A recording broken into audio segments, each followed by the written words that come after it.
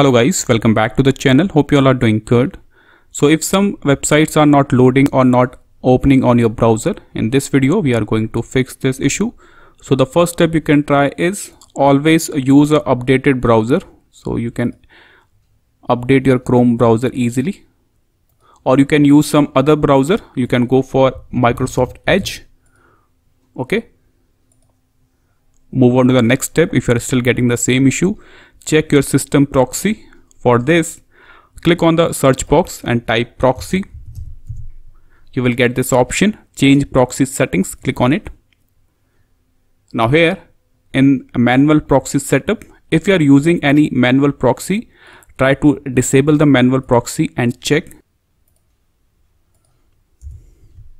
So as you can see, now it's working. So check uh, if the manual proxy is used you can disable the manual proxy as well from this option.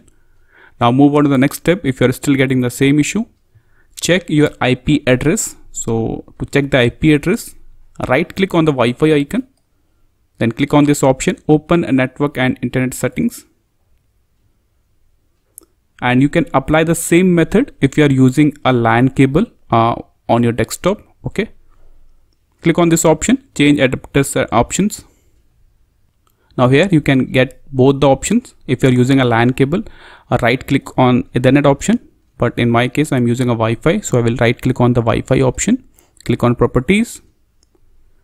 Now here select this option internet protocol version 4 TCP IP slash IPv4 select this option then click on properties and select the automatic option IP address automatically and select this option as well obtain DNS server address automatically. Use automatic option. Click on OK then click on close.